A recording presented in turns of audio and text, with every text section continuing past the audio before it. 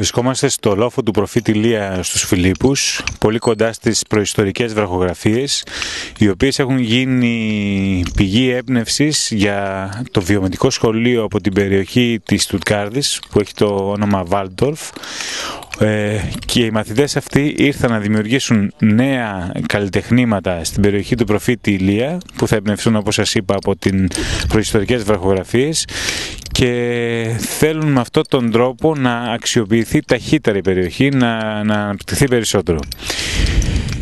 Το σχολείο δέχτηκε την πρόσκληση του Πολιτιστικού Συλλόγου των Φιλίππων, τον οποίο υποστηρίζουν ο Πολιτιστικός Τουριστικός Οργανισμός ε, της Νομαρχίας Καβάλας και ο Δήμος Φιλίππων. Το, το σχολείο Βάλτορφ φιλοξενείται στην περιοχή του Δήμου Φιλίππων για 15 μέρες και τα παιδιά όπως μπορείτε να δείτε συνεχώς ε, δημιουργούν, καθαρίζουν, φροντίζουν τον τόπο που δουλεύουν και σκαλίζουν πάνω στα, στα μάρμαρα της περιοχής. Είναι ενθουσιασμένοι οι μαθητές και οι καθηγητές που τους ε, συνοδεύουν με το τοπίο της περιοχής που απέναντί τους συναντά το Παγκαίο και την, ε, τον ανοιχτό ορίζοντα και θεωρούν ότι μετά από κάποια χρόνια η περιοχή μπορεί να αξιοποιηθεί πολύ περισσότερο. Θα ήθελα να ρωτήσουμε τον κύριο Ματίσεν πώς μπορεί να φανταστεί την περιοχή μετά από 10 χρόνια. Πώς θα ήθελε, αν ερχόταν μετά από 10 χρόνια, να έχει ε, αλλάξει η περιοχή. Τι θα ήθελε να δει εδώ πέρα; Also meine Vision von diesem Platz, der landschaftlich fantastisch liegt.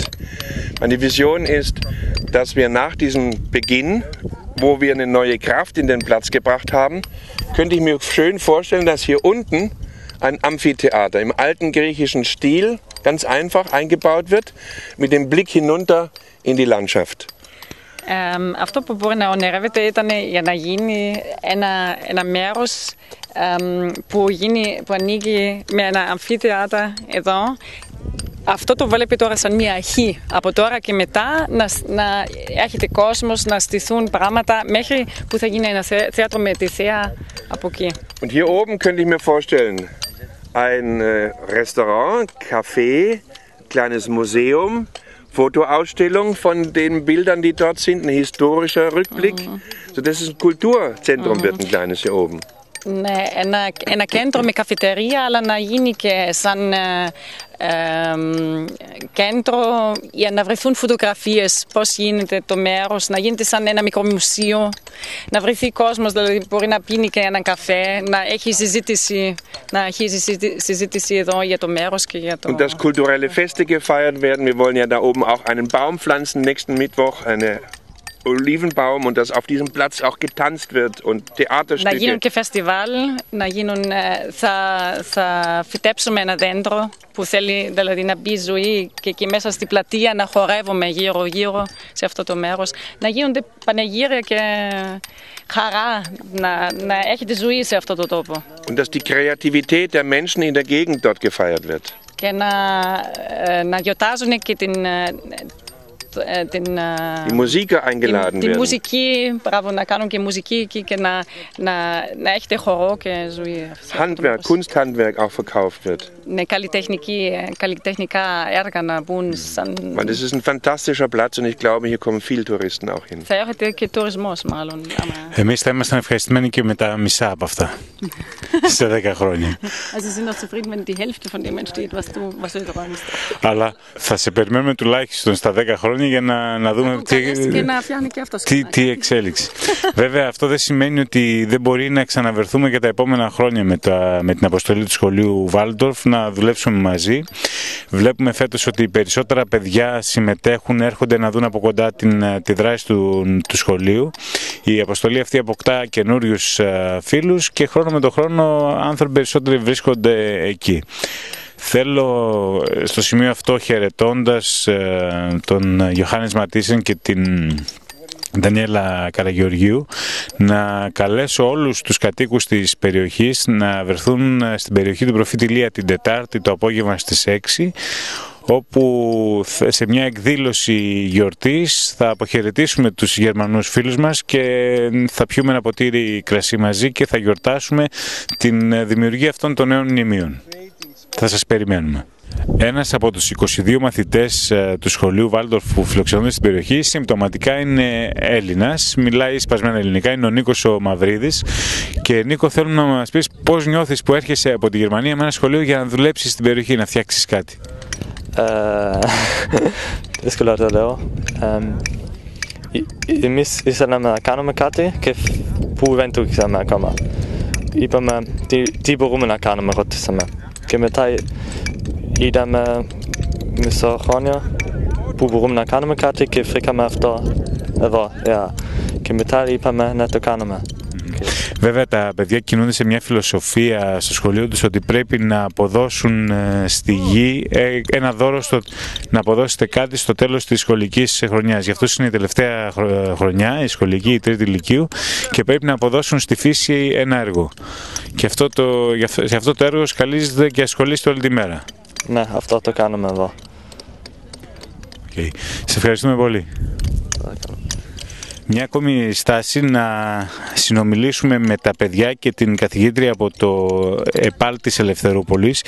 Η κυρία Γεωργία Καραβίτη είναι ο άνθρωπος, ο συνδετικός κρίκος με του Συλλόγου των Φιλίππων με το σχολείο Βάλτοφ της ε, Γερμανίας και οι μαθητές ε, του, του ΕΠΑΛ της Ελευθερούπολης από το τμήμα της ε, Γεωπονίας συνεργάζονται με τα παιδιά, δουλεύουν μαζί πάνω στους βράχους. Πώς νιώθουν τα, τα παιδιά σου που έρχονται σε επαφή με τους συνομιλικούς της Γερμανίας για να δημιουργήσουν κάτι; Ε, φαντάζομαι ότι νιώθουν πάρα πολύ τυχερά που έχουν αυτή την ε, ευκαιρία.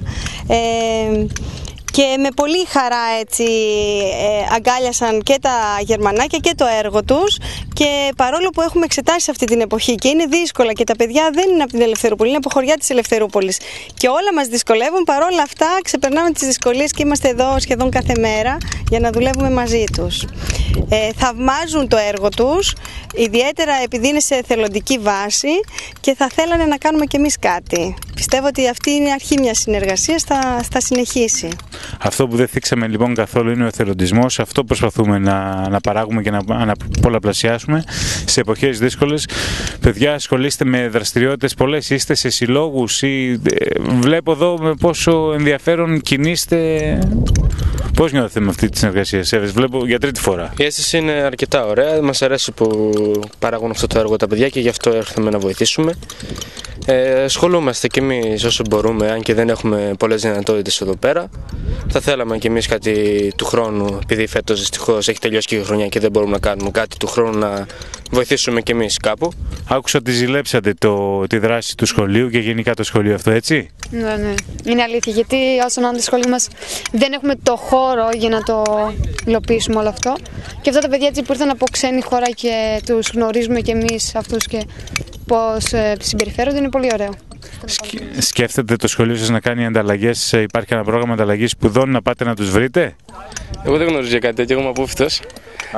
Ε, ε, εγώ τώρα τη Δευτέρα γράφω εξετάσεις και τόσο μου αρέσει που ήρθα εδώ πέρα. Α, συνεχεί να ένας κερδίσαμε έναν εθελοντή.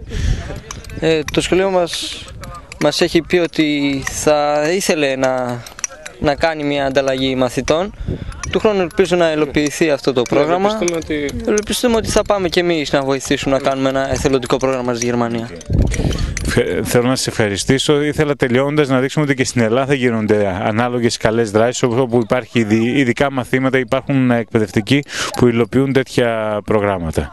Εγώ, Γεωργία Καραβίτη, θέλω να σα ευχαριστήσω που βρίσκεσαι κοντά στους ε, εκπαιδευτικούς και τους μαθητές ε, από την Γερμανία. Και εγώ με τη σειρά μου ευχαριστώ πάρα πολύ ε, όλους όσους βοήθησαν σε αυτό το πρόγραμμα γιατί πραγματικά χρειαζόμαστε όλοι και σε αυτές τις δύσκολες στιγμές πιστεύω που περνάει η χώρα μας λύση είναι οι συνεργασίες. Να συνεργαζόμαστε και να κάνουμε μαζί πρωτοποριακά πράγματα. Ευχαριστώ πολύ και πάλι.